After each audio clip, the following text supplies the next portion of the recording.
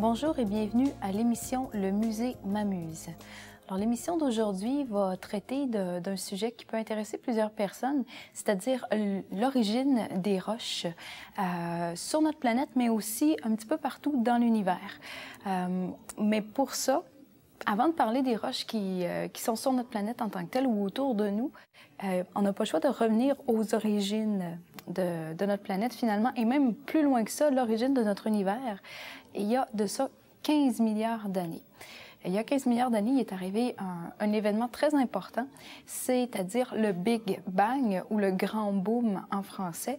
Euh, donc, c'est une immense explosion qui a eu lieu. Parce que juste avant le Big Bang, ce que les scientifiques disent, c'est que toute l'énergie et la matière de la planète étaient concentrées dans une boule de la grosseur environ d'une balle de tennis. Donc, toute, toute, l'énergie, toute la matière qui compose notre univers aujourd'hui était, était dans une boule minuscule. Donc, on peut très bien s'imaginer la pression intenable qu'il y avait à l'intérieur de cette boule-là.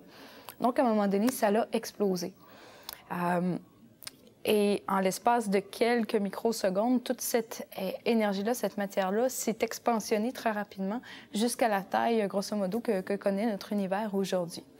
Euh, sauf qu'il y a une chose qui est, importante à comprendre à, ce moment-là, c'est que euh, quand la température baisse, la, structure euh, de la matière a tendance à s'organiser de façon de plus en plus complexe. Je vous donne un exemple par rapport à ça. Si on remplit une pièce de vapeur d'eau, euh, et bon, la pièce est remplie de vapeur d'eau, et si on abaisse la température de la pièce, euh, la vapeur d'eau va se condenser en gouttelettes d'eau.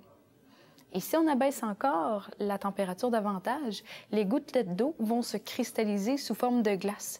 Donc la glace est infiniment plus complexe que ce qu'étaient les vapeurs d'eau au départ. Donc, on voit que le fait que la température baisse, euh, ça, fait que euh, du désordre naît l'ordre. Donc, on, obtient des, des, structures de plus en plus complexes.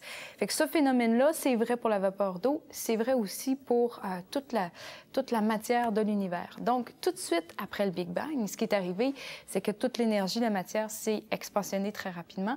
Donc, comme elle s'est expansionnée, ça a dilué l'énergie, donc diminué la chaleur à diluer la chaleur qui était contenue à l'intérieur euh, de l'explosion. Donc, automatiquement, ça le fait que toute cette matière-là s'est organisée en structure de plus en plus complexe. Euh, au départ, cette matière-là, ce que c'était, c'est c'était de la lumière, tout simplement. Où, où l'explosion a créé énormément de la lumière, énormément de lumière. Cette lumière-là, c'est en réalité des photons c'est de la chaleur. Euh, et euh, ça s'est mis à, à, bouger très, très rapidement. Toute cette lumière-là, et comme la température s'abaisse, euh, les, photons vont s'organiser en, en, noyaux atomiques, des choses comme ça qui vont finir par donner des, des particules. Euh, mais tout ça se, se, fait euh, assez rapidement. Donc, on parle de à peu près 15 minutes après le Big Bang, on avait déjà euh, de l'hélium, des, des, noyaux d'hélium et des noyaux d'oxygène. Donc, euh, la matière était déjà organisée là, en, ces gaz-là. On dit à peu près 75% c'était de l'hydrogène et 25% euh, de l'hélium. Alors, euh, ça, fait assez rapidement, mais euh, c'est resté pendant très, très longtemps euh, de, de l'hélium et de l'hydrogène. En fait, on parle de à peu près 380 000 ans après le Big Bang. C'était tout simplement des, des, des, chocs, des explosions, des combinaisons de particules pour créer des particules de plus en plus complexes. Donc, c'est à peu près 380 000 ans. Et suite à ça, après 380 000 ans, là, euh, le, ça s'est calmé un petit peu, ces chocs de, particules-là, pour que finalement, là, tranquillement, pas vite, les, galaxies commencent à se former. Euh, avant d'aller plus loin, par exemple, je, je, sens à travers le téléviseur que vous avez des, des grosses questions. Comment est-ce qu'on fait pour savoir tout ça? Euh, je vous dirais qu'à la base, c'est surtout des, des, calculs mathématiques qui nous permettent de comprendre tout ça, des modèles euh, mathématiques. Mais euh, jusqu'à 380 000 ans, on est capable de voir le Big Bang. Je vous explique comment. C'est que plus on regarde loin, plus on regarde tôt. OK? C'est un principe, euh, euh c'est le temps et l'espace qui, rendu à un certain moment, quand ça devient tellement grand, que tout ça se mélange. Euh, bon, pour vous donner un meilleur exemple, pour vous aider à bien comprendre ce, principe-là, le Soleil, qui est l'étoile la plus près de la Terre est situé à grosso modo 150 millions de kilomètres de la Terre. La lumière du Soleil, euh, ça prend 8 minutes avant qu'elle nous arrive. On peut faire un calcul rapide. La lumière voyage à 300 000 km par seconde. Euh, donc, si on multiplie par 60 secondes, par, euh, par 60, 60, minutes pour donner une heure, multiplié par 24 heures, en tout cas, on est capable d'avoir la, distance parcourue par la lumière en, en plusieurs laps de temps. Mais pour ce qui est du Soleil, c'est 8 minutes que ça nous prend pour que, pour que la lumière du soleil arrive jusqu'à nous. Ça veut dire que quand on regarde le soleil là, ça veut dire qu'on le voit tel qu'il était il y a huit minutes. Donc, s'il s'éteint là, on va le savoir juste dans huit minutes. Parce que c'est le, temps que la distance, la distance que la lumière doit parcourir pour parvenir jusqu'à nous, c'est ce qui fait ce délai-là. Donc, quand on comprend bien ce principe-là, on comprend que si on regarde une, étoile ou une galaxie qui est située à 100 000 années-lumière de la Terre, ça veut dire que quand on la regarde en ce moment, ça veut dire qu'on la voit telle qu'elle était il y a 100 000 ans, parce que ça a pris 100 000 ans à sa lumière pour se rendre jusqu'à nous. Et quand on comprend bien, bien ce phénomène-là, on réalise que l'univers est tellement grand qu'on peut voir des choses que ça a pris 15 milliards d'années avant que la lumière parvienne jusqu'à nous, parce que l'univers est immense. Donc, par rapport à ça, on voit des événements qui se sont produits tout juste après le Big Bang. Par contre, on ne peut pas voir le Big Bang directement parce que, je vous disais tout à l'heure que les premiers 380 000 ans, c'était des chocs de particules. Donc, quand, avec un télescope, on arrive à le voir, euh, ça nous apparaît comme un immense nuage gris Hein, parce que la lumière, l'activité était tellement intense que les photons de lumière ne pouvaient pas parcourir 2 cm avant d'être absorbés. Donc, c'est comme si cette lumière-là, comme elle n'a jamais vraiment été émise, ben, elle ne peut pas se rendre jusqu'à nous. Donc, on ne peut pas apercevoir directement le Big Bang. Donc, c'est les premiers 380 000 ans, c'est vraiment des calculs mathématiques qui nous permettent de comprendre comment tout cet univers-là a pu se former. Là, je vous entends me dire aussi, on est, ils sont où les roches là-dedans? Où est-ce que, sont rendus? On y arrive. Donc, c'est bien important de bien comprendre le, début, la formation de, l'univers, l'organisation, structure de plus en plus complexe pour arriver à comprendre les pierres. Donc, si on revient au moment où euh, où bon, c'était surtout de l'hydrogène et de l'hélium, puis que toute cette matière-là s'organise euh, de plus en plus complexe. Euh, on obtient à un moment donné des immenses nuages de gaz euh, qu'on appelle des nébuleuses. Euh, les, nébuleuses, il y a des mouvements à l'intérieur de, ces nébuleuses-là suite à des ondes de choc qui proviennent carrément du Big Bang ou d'autres explosions d'étoiles à proximité. Donc, ces ondes de choc-là font que la matière à l'intérieur de la nébuleuse a des mouvements de gravitation, donc des mouvements circulaires. Euh, c'est un peu le même principe que lorsqu'on fait l'expérience à la maison de tourner euh, dans une piscine hors terre.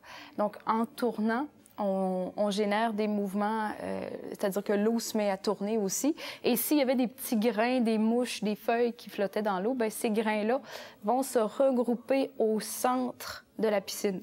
Ce phénomène-là s'appelle l'accrétion. Donc, c'est vrai dans une piscine, mais c'est vrai aussi pour les gaz. Donc, dans ces nébuleuses-là, il y avait des, mouvements circulaires et au centre de ces mouvements-là, il y a une agglomération de particules, euh, soit des, euh, euh, des, des des particules de poussière, des particules de gaz. Bon, ça, ça va être des choses comme ça. Parce qu'il faut comprendre aussi que quand la température s'abaisse très rapidement, les gaz vont se solidifier directement, au lieu de passer à l'état liquide pour finalement atteindre l'état solide, ça passe directement de gazeux à solide.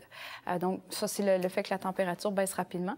Donc, on a des, des poussières, on a ces gaz-là qui se solidifient et ça va venir euh, se, regrouper pour faire la création.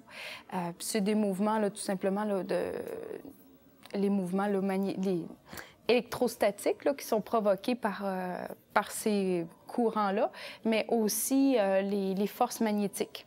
Électrostatiques, ça va faire que ça va tout attirer euh, ces particules-là. Donc, au centre de ces mouvements gravitationnels, on se retrouve avec des, des premières pierres universelles, si on veut, qui vont se mettre à grossir à force d'aller chercher ces, ces petits morceaux-là. Donc, j'ai ici dans les mains l'une de ces fameuses pierres-là. On appelle ça des chondrites. Euh, les chondrites, c'est les, pierres les plus vieilles de notre univers, de notre système solaire. Bon, parce que j'ai donné l'exemple comment se forme une nébuleuse, mais c'est vrai pour tous les systèmes dont notre système solaire s'est formé de cette façon-là aussi. C'est un immense nuage de gaz qui, euh, qui s'est aggloméré au centre, euh, donc qui a refroidi très rapidement. Donc, ça fait, ça fait de l'accrétion au niveau des particules. Euh, alors, cette chondrite-là provient de, notre système solaire. Donc, elle s'est formée au moment où notre système solaire s'est formé. Donc, c'est grâce à des pierres comme celle-là qu'on connaît l'âge de notre système solaire. Euh, parce que les roches terrestres sont un peu plus jeunes. Je vais vous expliquer tout à l'heure pourquoi. Donc, ce fait-là nous dit aussi qu'une chondrite comme ça sur Terre, c'est impossible. Encore une fois, parce que les roches terrestres sont plus jeunes.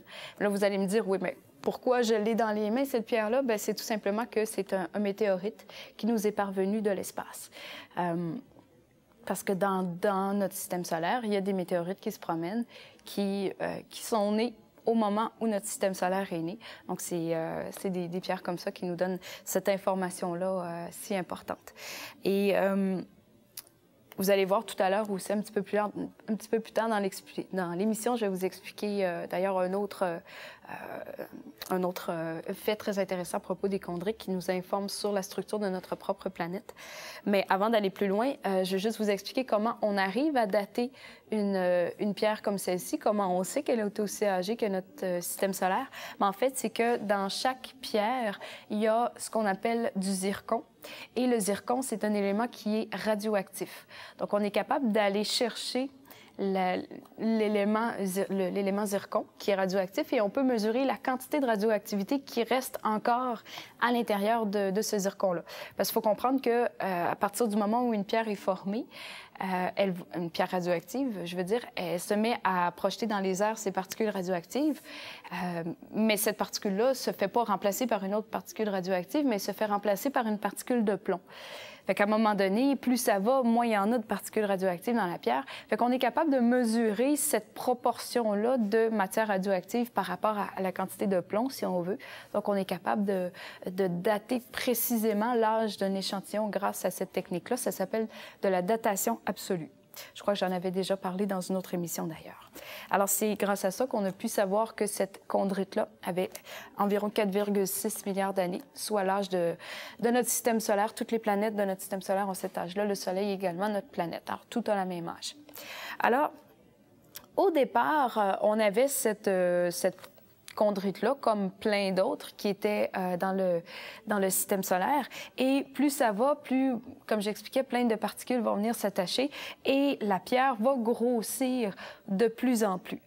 À un moment donné, cette pierre-là devient assez grosse euh, pour qu'elle soit considérée comme un planétoïde, non pas comme une planète, euh, mais un planétoïde, c'est-à-dire euh, une pierre qui est assez grosse pour exercer en elle-même une force de gravité. La gravité, c'est la force qui fait que si je laisse tomber un crayon, il va tomber par terre. C'est la force qui nous retient sur le sol. Euh, donc, c'est la force aussi qui va faire que si un météorite passe à proximité de la Terre, cette, ce météorite-là va être attiré par la Terre. Donc, c'est une force de gravité, il faut que l'astre ait une certaine dimension pour avoir cette forme-là. Euh, la plupart des astéroïdes sont pas assez gros pour avoir euh, une, pour exercer une force de gravité, mais quand ils deviennent assez gros, cette force-là s'installe. Donc là, ce n'est plus seulement les forces électrostatiques et magnétiques qui attirent les autres poussières, mais c'est aussi la force de gravité. Donc là, ça fait augmenter la masse euh, des astres de plus en plus. À un moment donné, cette masse-là devient tellement importante, la taille de la, du planétoïde est tellement importante qu'il y a une pression énorme qui, qui s'exerce sur le centre de la planète. Euh, si on fait juste forcer dans nos mains comme ça, on sent qu'il y a une chaleur qui s'exerce à l'intérieur des paumes de nos mains c'est juste avec la force humaine qu'on arrive à faire ça. Alors imaginez-vous la taille d'un planétoïde tellement immense qu'il y a une pression extrême qui s'exerce sur le centre de la planète. Alors, ça crée de la chaleur, le même principe, et la chaleur devient tellement importante que l'intérieur de la planète se met à fondre. Donc, la pierre qui était solide se met à fondre.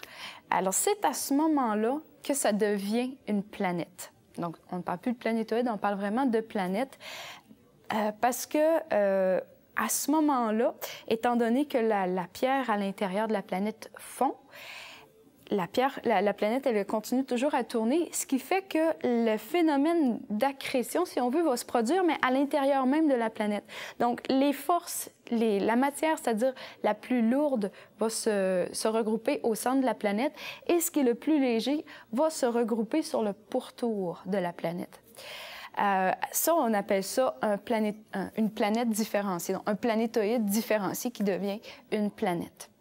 Alors, c'est un peu grâce à ça qu'on sait euh, que, que, notre planète est, est, formée de cette façon-là. Donc, on a un noyau lourd, solide au centre, et autour, le magma qui est autour, c'est du matériel plus léger.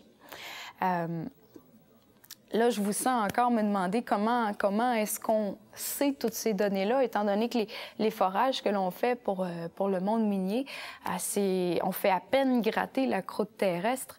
On, on, enfonce de quelques kilomètres seulement dans la croûte, alors qu'on sait qu'elle est beaucoup plus épaisse que ça et que le, le rayon euh, de, de, la planète est, est immense aussi.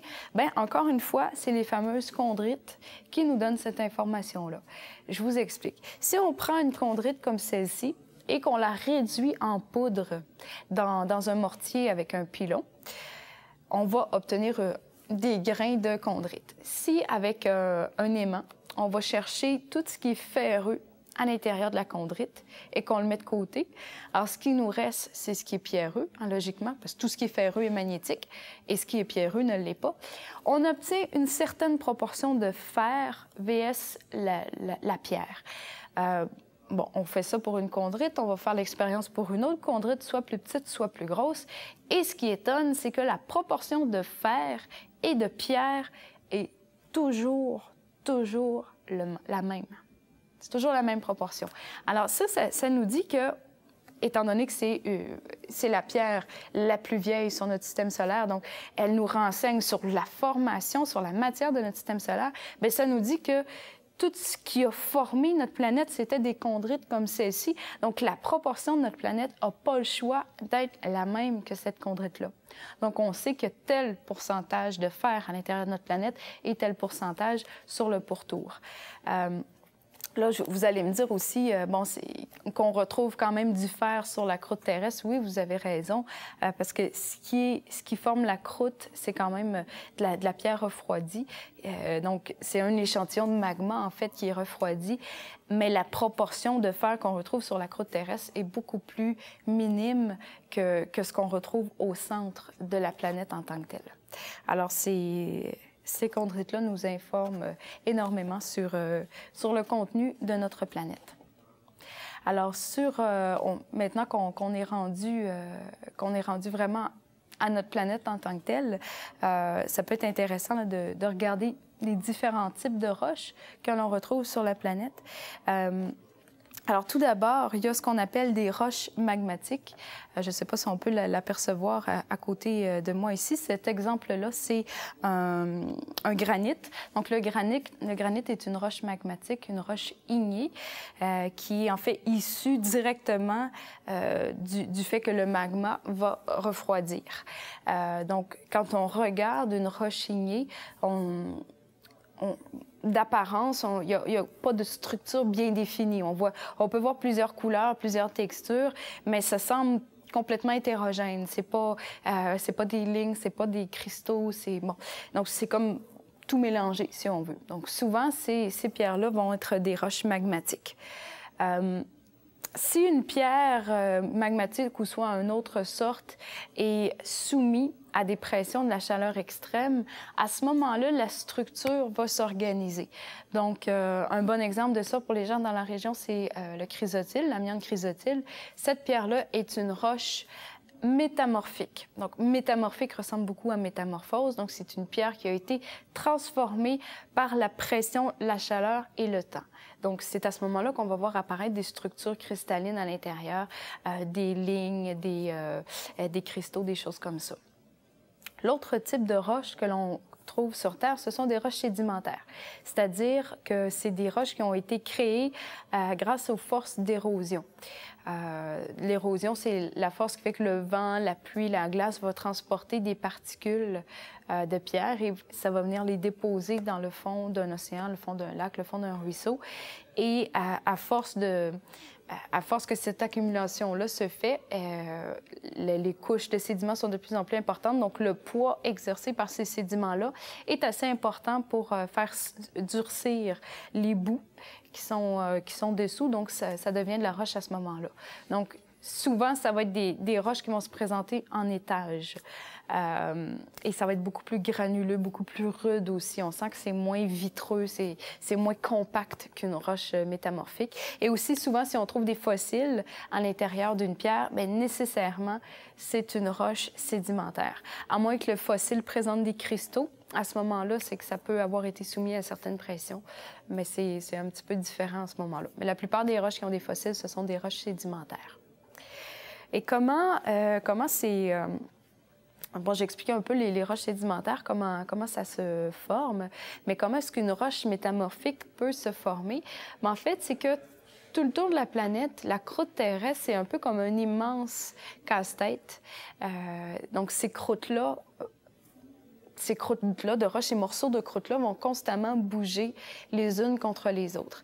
Des fois, ça va, euh, les, les croûtes vont s'éloigner l'une de l'autre, des fois elles vont se frotter l'une contre l'autre, et des fois aussi elles vont se rapprocher. Donc, euh, quand euh, deux failles se frottent l'une contre l'autre, euh, ça fait déplacer les continents, les, plaques continentales ou océaniques. Ça peut créer des tremblements de terre aussi. Et ça crée souvent des failles aussi. Donc, sous les océans, dans l'eau, souvent, il va y avoir des failles. Si les, les deux plaques s'éloignent l'une de l'autre, à ce moment-là, ça fait un apport de magma au centre euh, de la faille, si on veut. Donc, la croûte à cet endroit-là, elle est très, très mince. Donc, le magma remonte et va venir prendre la place de, des deux des deux plaques qui séparent. Donc, le magma remonte, il vient prendre la place ici. Euh, et ça, ça crée des, des fosses assez profondes. Un bon exemple de ça, c'est euh, en fait deux exemples. Euh, au, au, centre du continent africain, il y a ce qu'on appelle le rift, le grand rift africain. Et au centre de ce rift-là coule le Nil. En fait, c'est justement deux plaques qui s'éloignent au centre du continent africain. Ça crée une dépression au centre et il y a le, Nil qui coule au milieu. Un autre bon exemple de ça, c'est au centre de l'océan Atlantique. Il y a ce qu'on appelle la dorsale euh, atlantique. Euh, et bon, les deux euh, les deux plaques s'éloignent. Il y a un apport de magma au centre, donc ça crée euh, un nouveau fond marin, si on veut. Et d'ailleurs, au nord de, cette dorsale-là, il y a l'île d'Islande. Et dernièrement, vous vous souvenez sûrement qu'il y a eu un volcan qui a euh, entré en éruption en Islande. Bien, c'est directement lié à cette, dorsale-là de, l'océan Atlantique. Donc, c'est de la de magma, finalement, qui a créé ce volcan-là, qui a fait qu'il a, a entré en éruption. L'autre euh, phénomène qui peut arriver, c'est si deux plaques se rapprochent l'une de l'autre. À ce moment-là, il y en a une des deux qui doit céder le passage à l'autre, donc elle va entrer sous l'autre couche et elle va aller refondre à l'intérieur de la Terre dans le magma. Et celle qui reste par-dessus va se plisser, non plus de cette façon-là, elle va se plisser, donc ça va créer une chaîne de montagnes euh, sur le bord. Donc la cordillère euh, des Andes, le long d'Amérique du Sud, le, les Rocheuses canadiennes aussi ont été formées de cette façon-là. Donc une chaîne on appelle ça des chaînes côtières sur le bord de l'océan. C'est la plaque continentale qui se plisse euh, pour faire céder le passage à la plaque continentale. Et à ces jonctions-là, il y a des abysses très, très profondes, des fosses dans le, fond de l'océan.